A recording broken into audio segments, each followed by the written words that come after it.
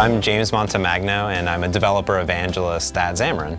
At Xamarin, we're a company that's focusing on creating beautiful cross-platform native mobile applications, all in C Sharp, inside of Visual Studio uh, across iOS, Android, and all of the Windows platforms. The entire goal of Novarum is these things around uh, called lateral flow tests.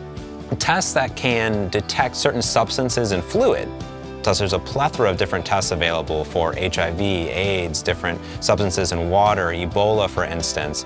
These test results get very complex. Their goal was to simplify this production. They had the technology, the imaging processing technology, and they needed to scale out across all the different devices. We could leverage everything that's amazing inside of these mobile devices, the camera, the technology, and scan in the results and give a simple yay or nay. So what that meant is not only are they creating great native uh, applications to deliver to these nurses and doctors in the field. But now as new customers come on and new clients come on, they can actually start creating these applications faster by leveraging all of this code. This is real life-saving technology that we have built into our pockets that we're carrying around every day. It's amazing.